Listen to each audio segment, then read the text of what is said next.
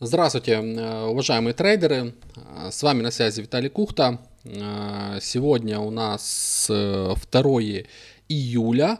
Записываю обзор по основным инструментам. Это у нас фондовые индексы S&P NASDAQ. Это золото, это нефть. Еще, возможно, затронем другие фьючерсы. Это валютный рынок, это евро, фунт. Затронем биткоин, затронем несколько акций. Э, ну, еще с валютного рынка затронем э, доллар-рубль. Многие спрашивают в комментариях, что и как. Я раньше, напомню, разбирал иногда данную валютную пару, когда она была, скажем, такая активная, да, доллар-рубль пара, но сейчас она, скажем, как бы не то что запрещена, да, э, как бы нет котировок, а есть котировки на э, фьючерс доллар-рубль, их тоже можно анализировать, э, поэтому можно в двух словах разобрать и так далее. И пишите плюс другие инструменты, которые вам интересны. А, ну, давайте начнем, начнем с рынка. Также напомню, что данный обзор выйдет как у меня на канале, так и на канале моих партнеров Самаркетс. А, сегодня у нас, напомню, должна была быть битва аналитиков, э, но ее мы перенесли на завтра, по возможности проведем завтра, если все будет нормально. А, поэтому сегодня записываю обзор. Итак, давайте начнем с NASDAQ, э, дальше перейдем на S&P 500. А, напомню, на э, прошлой неделе я предлагал вам начинать чертить S&P 500 и NASDAQ по причине, что у нас а, было два момента достаточно таких интересных фундаментально. Первый.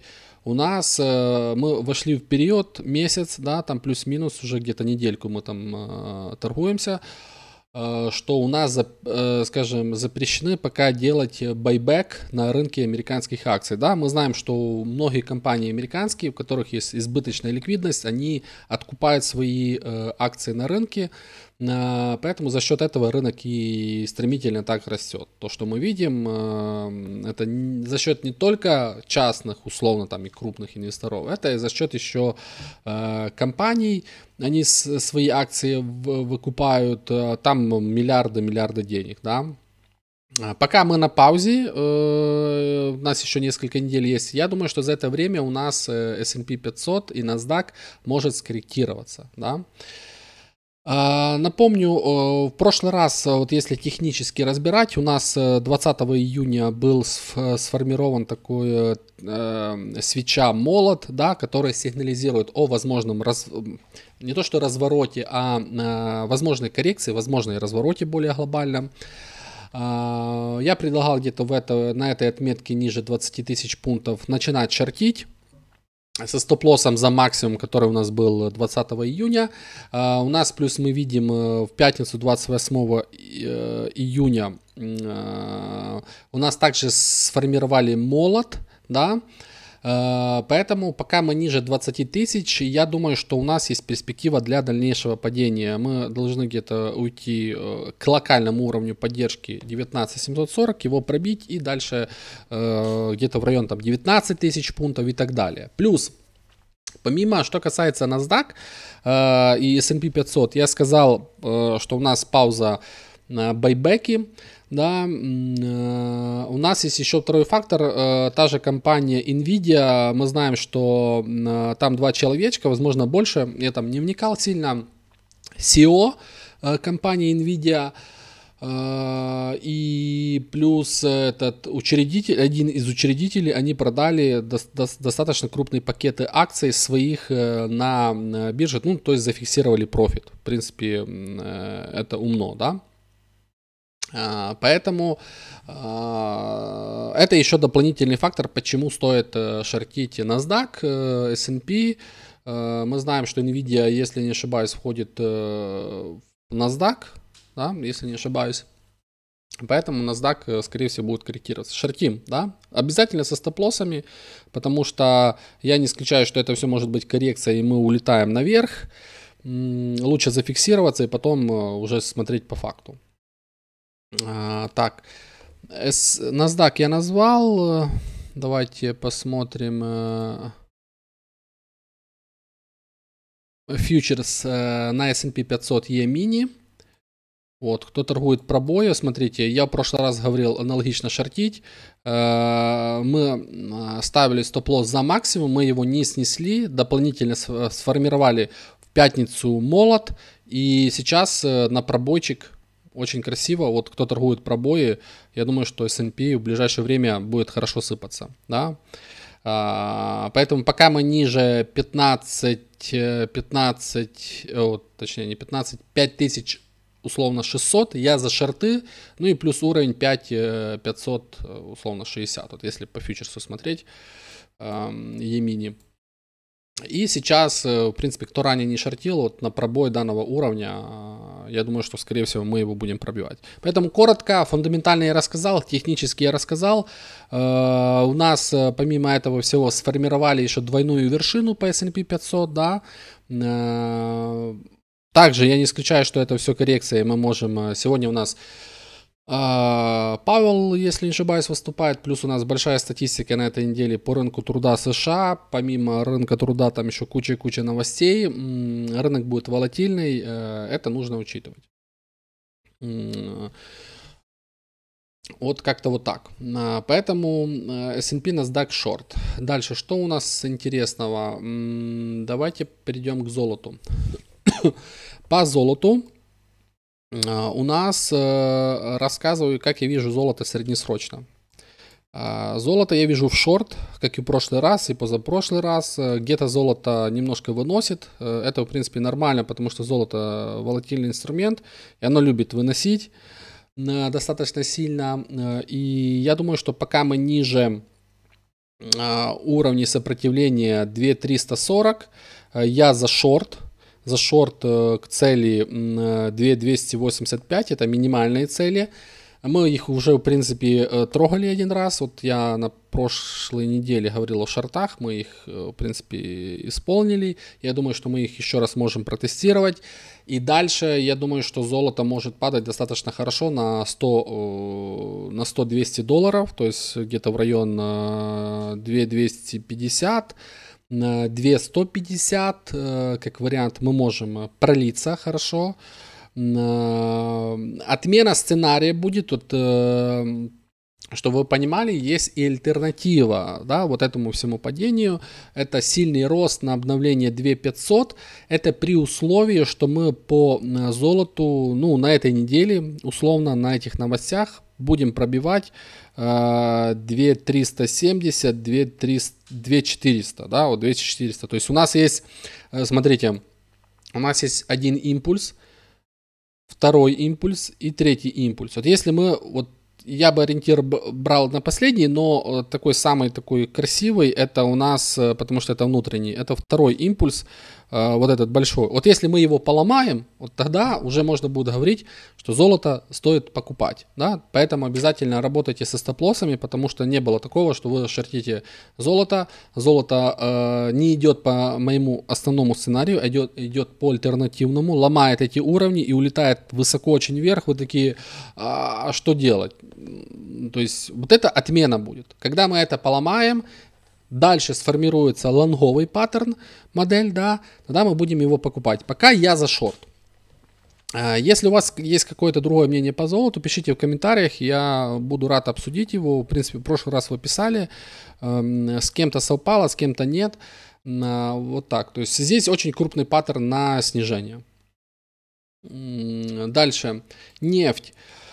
А, по нефти э, очень красиво отрабатывает рост. Э, в последнем своем обзоре называл ключевой уровень поддержки 84.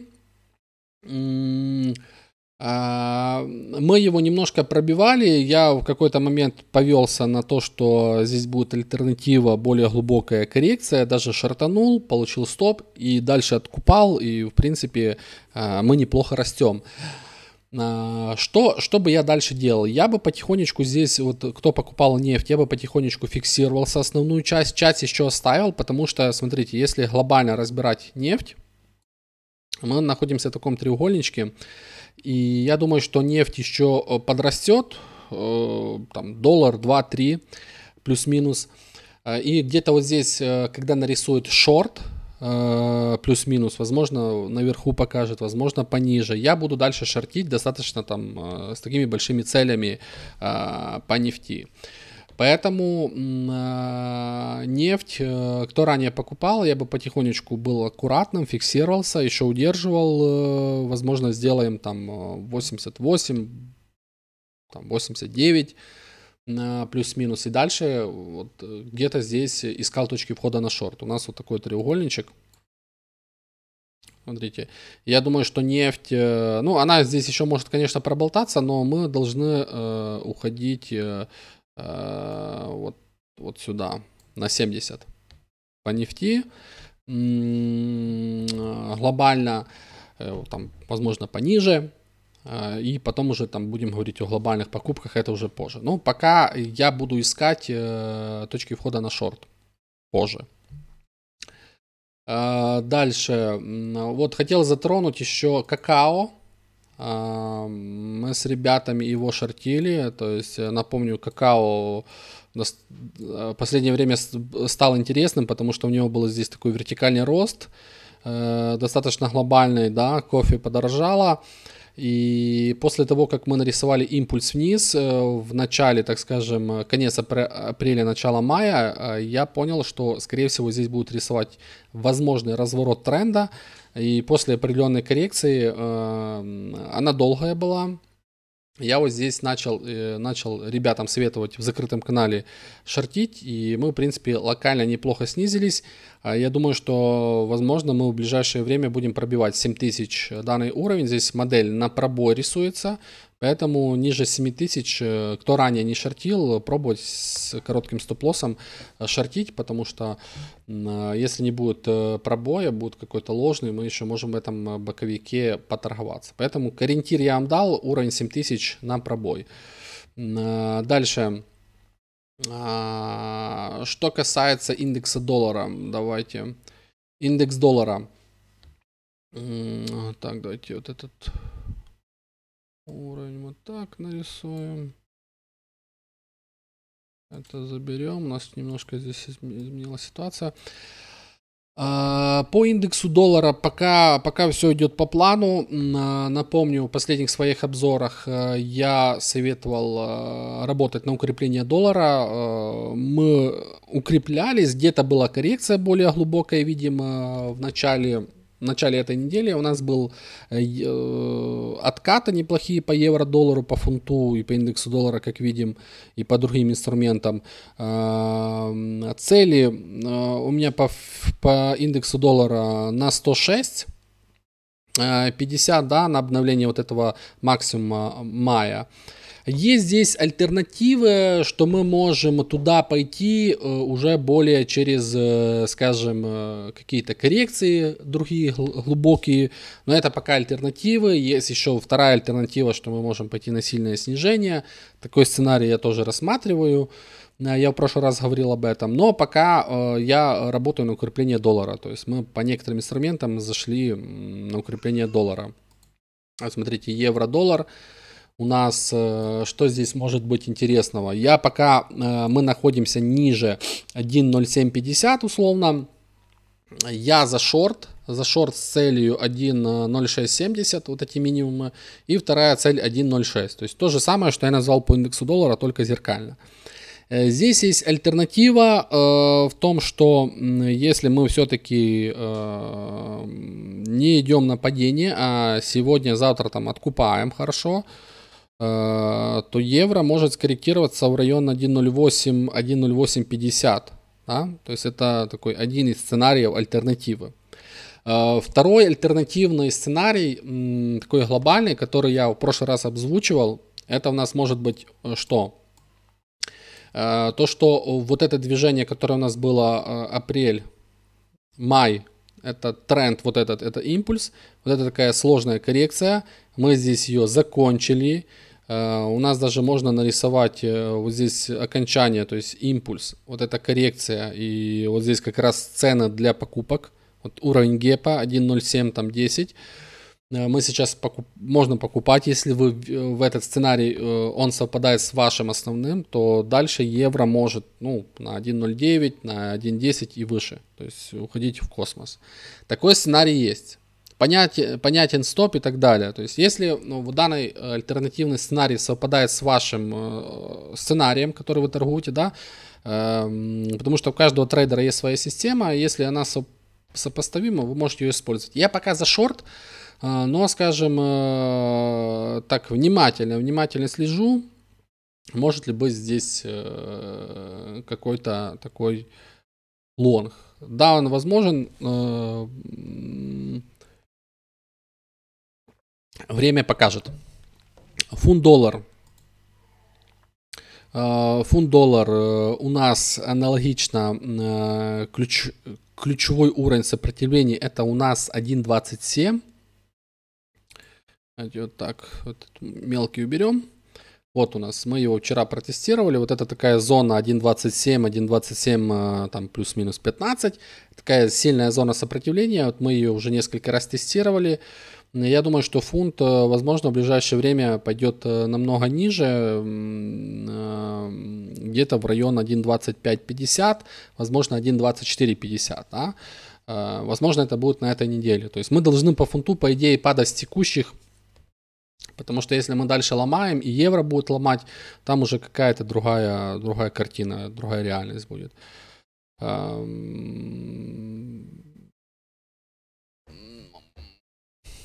Вот как-то вот так. То есть у нас пока э, ничего не показывает нам на лонг фунта. По евро еще можно вытянуть как-то, но по фунту никак.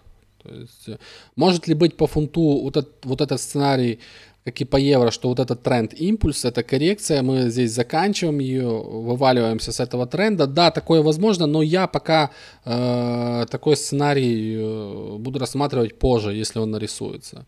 Э, пока мы ниже 1.27, я за шорт, э, вот даже можно вот, поработать на пробой 1.26.15, вот эти минимумы, то есть, э, скорее всего, мы их будем пробивать. То есть, есть, есть давление вниз по данному инструменту. А, дальше.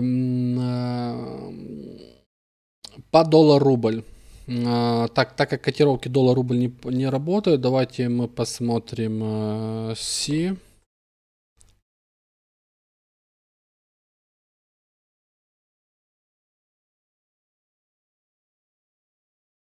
Вот.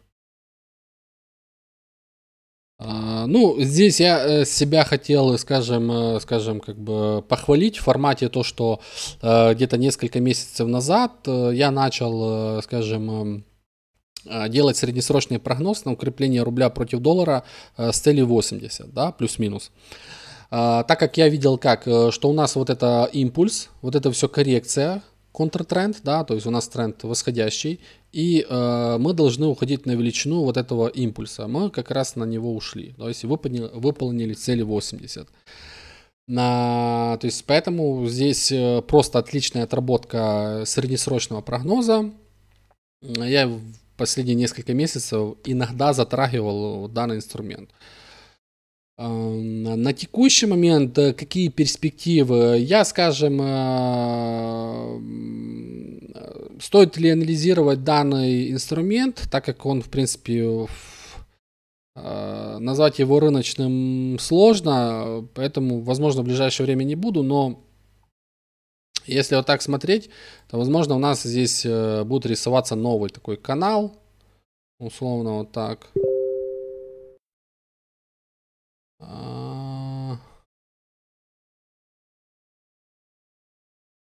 Там 90 на 80, то есть вот. И... А, а, поэтому, поэтому вот такой примерно канал может быть э, на ближайшее какое-то время. Вот так как-то я это вижу. Это имейте в виду.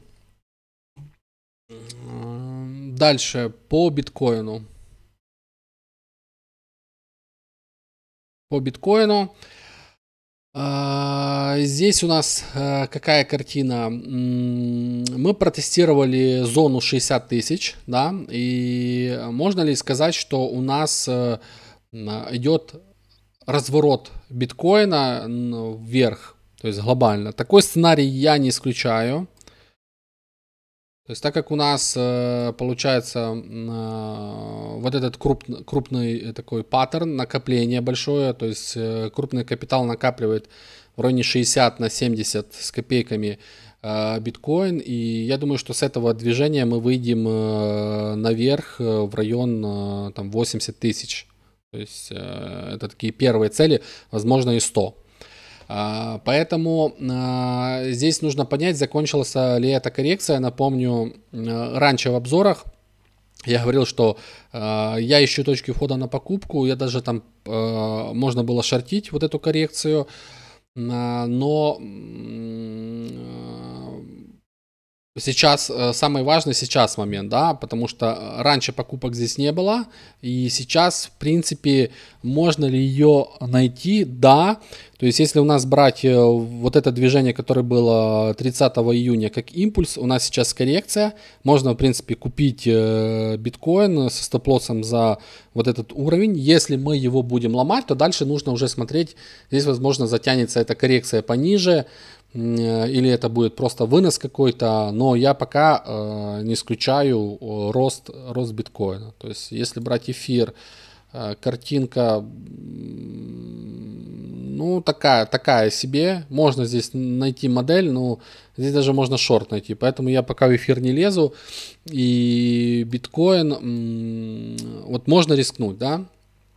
Но если мы сегодня делаем поглощение вот этого импульса, который был в воскресенье, то э, можно здесь другую, одну, одну из моделей такую, если считать вот это импульс, вот у нас получается 25 июня, конец 24, начало 25 июня, это как импульс, э, от, откат в районе 60-200, 60-200, э, да, если захотеть покупки находить, здесь их можно найти. Но э, есть моменты, которые мне не нравятся, но этот момент, э, он...